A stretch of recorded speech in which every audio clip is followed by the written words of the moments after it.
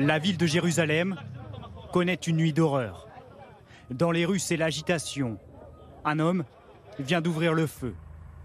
Plusieurs corps jonchent cette route, recouverts à la hâte par les secouristes. Image de désolation. Des victimes sur plusieurs dizaines de mètres. Les secours sont à pied d'œuvre. Le personnel de santé et de secours a été envoyé dans cette synagogue. Nous sommes arrivés en masse sur un lieu à la vision d'horreur. Nous avons soigné les blessés, mais certains sont morts. Nous sommes aussi au chevet des personnes qui souffrent de panique et d'anxiété. Selon la police israélienne, l'attaque se serait déroulée dans ce quartier, à l'est de la ville, contre cette synagogue.